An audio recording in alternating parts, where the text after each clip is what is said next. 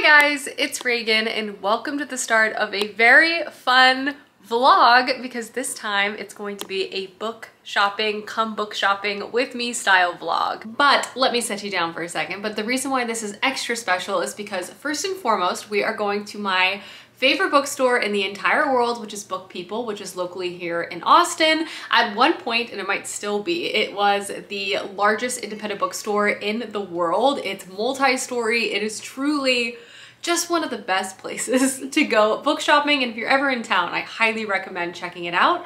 I have actually not been to Book People, one of my favorite places on the planet, uh, since I've moved back to Texas, which feels shameful. And two, which I thought was kind of fun, is the very first book shopping video I ever filmed was at Book People and I actually have never filmed one since. So it's been five years since I filmed a come book shopping with me video there. So I thought, you know, it's a great day. Let's go together. Let's check out some reads. In terms of what I am looking for, there are a few books that are on my summer reading list that I have been wanting to pick up.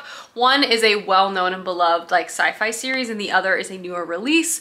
But also I just kind of want to look around and peruse and see what they have. They always have the best uh, recommendations from employees. So I'm just curious to see. So anyway, welcome to the book shopping vlog. Let's head out into the world. Let's do some shopping. And then obviously I will do a haul at the end. But let's go.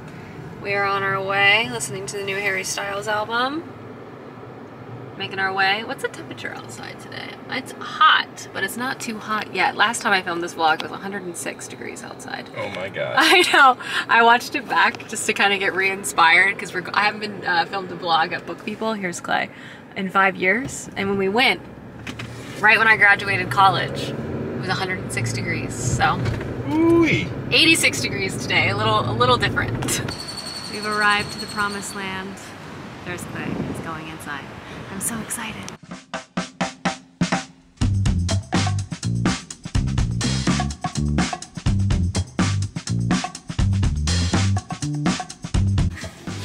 The obvious first stop. And as I said, they always have the best employee staff selections and they always have these really custom cool little signs.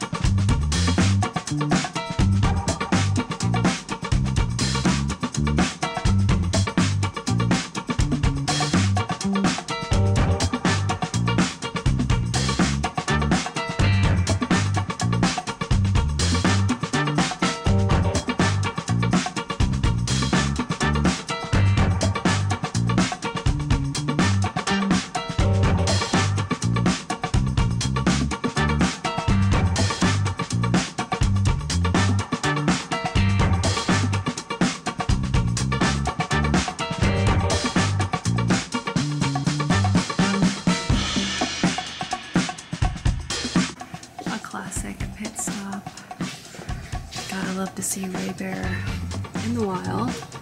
Plus again, more incredible recommendations. This is actually the second floor. This bookstore is huge. So many great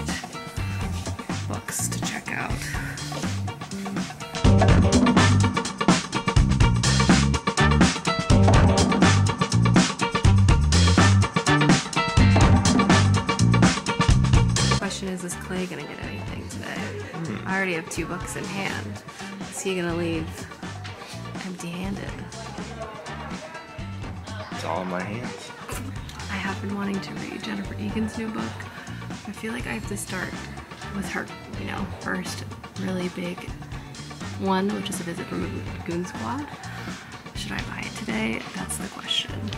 This paperback of Clara and the Sun is so nice to look at.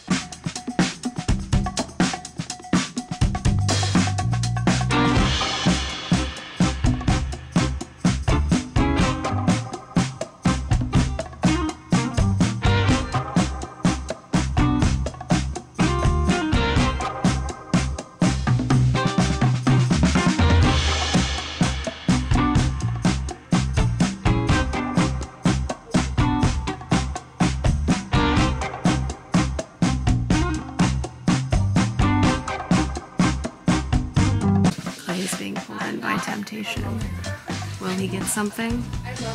Well, he'll be inspired to finish the book he's currently reading? The world may never know. Update. He grabbed a book. There it is, folks. He found something.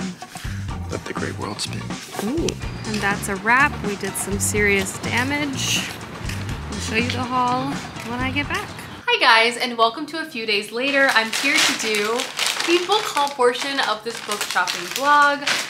Honestly, it was a delight to be back at Book People. It's just truly one of my favorite bookstores on the planet, from the employees, to the recommendations, to the floor plan, and just the pure, overwhelming amount of books to pick from. Impeccable amazing. Not to mention, if you are in the Austin area, they have incredible community events as well, author signings to other things. It's just such a great place for book lovers. In terms of books, I bought three books and Clay actually picked up a book himself. So without further ado, let's go ahead and dive into the books that I grabbed at the store. The first book I grabbed was a title that I immediately walked up to the help counter to see if they had. It was the title that was at the top of my list to grab and also their last remaining copy. So it seems other people have good taste too, but also I felt very lucky, very destined to receive the copy of this book, and that is Rosewater by Tade Thompson. This is the first book to a sci-fi series that I've heard so many amazing things about. In fact, I'm so looking forward to picking this book up. You might have already seen that this is on my June TBR. Honestly, I truly can't wait to read it.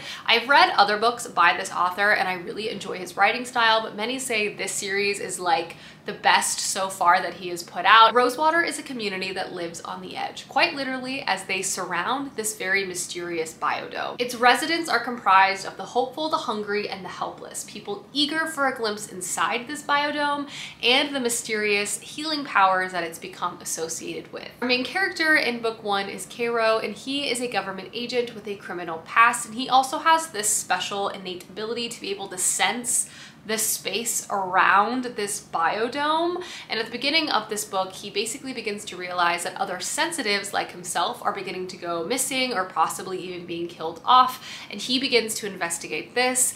Everything about this book just honestly sounds so cool. I already know Tade Thompson can write suspense really well, and this very bizarre setting of this biodome really calls out to me, and I love that a community has surrounded itself around it.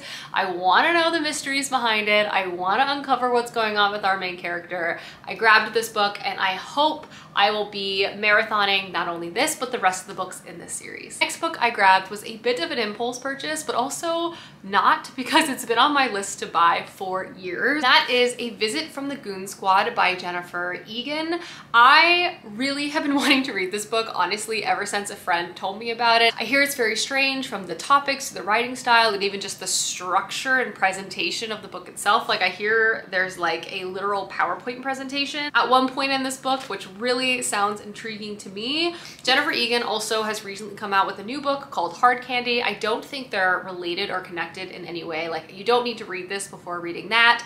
But because that book is on my list, I do feel very strongly that I want to at least start with this book, which did win the Pulitzer Prize before I jump into her newer release. I feel like I need to have like a foundation of her writing style before I can read newer books. I don't know, it's like to me, it's like season one versus season three, if you know what I mean. Based on the structure and synopsis of this book, I do feel like there is a high chance I'm gonna love this. It's multi-POV and I love following very disparate, unlike characters and hopefully watch them kind of come together in the end. One of our characters is Benny, who is an aging former punk rocker and record executive. And next we have Sasha, who is a passionate, troubled young woman he employs. Here, Jennifer Egan brilliantly reveals their past along with their inner lives of hosts of other characters whose paths intersect with theirs.